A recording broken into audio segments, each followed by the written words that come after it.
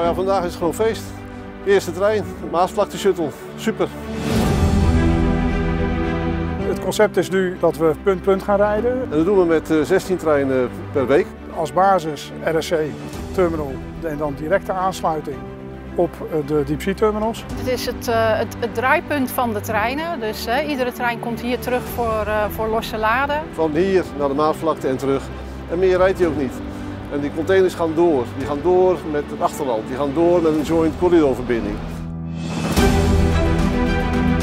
In het verleden gebeurde het dat de trein die ging een rondje maken over de Maasvlakte. Dus die deed verschillende deep-sea terminals aan.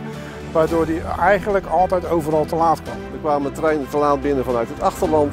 De flexibiliteit op de deep-sea terminals werd continu getest. Dus er was soms veel onbegrip in, in de goede logistieke oplossing. En dat gaan we oplossen. Fantastisch dat de eerste trein hier op tijd stond en dat hij op tijd gaat vertrekken.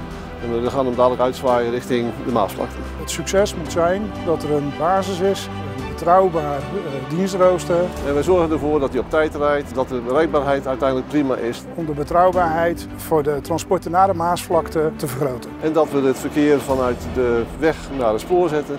En dat is de reden waarom we de Maasvlakte Shuttle hebben.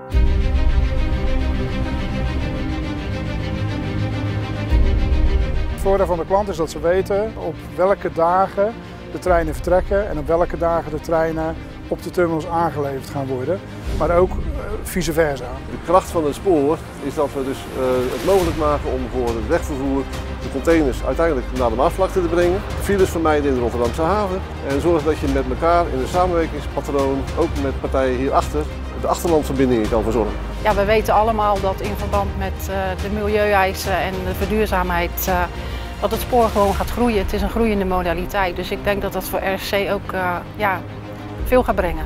De power van Railcargo, want dat is eigenlijk de drive wat we met z'n allen doen. We proberen te denken in spoor.